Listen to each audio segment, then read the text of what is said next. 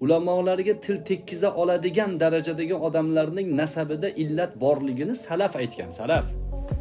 Ulamoga til tekkiza oladigan jur'at nasabida nimasidir borlar. Adashmasam abu dovudda rivoyat kelgan payg'ambar alayhissalotu vassalom shunaqa deganlar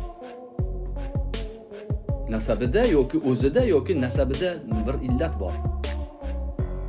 Mish mish bilan tug'ilgan odamlar mish mish bilan. Shunaqa odamlar ulamolarga til uzata oladi. Qo'rqmasdan ulamolarni aqli past deya oladi. Ya'ni islom ummatining ichida ulamolar himoya qilinmasa nimamiz qoldi himoya qilinadigan? Hamma narsamiz parokanda bo'lib bo'ldiki endi ulamolarga sakrayapsizlar. Nimaga erishmoqchisizlar hech narsaga erisholmaysizlar xotirjam bo'linglar oqibatinglarni kutinglar agar tavba qilmasanglar. Oqibatinglarni kutinglar.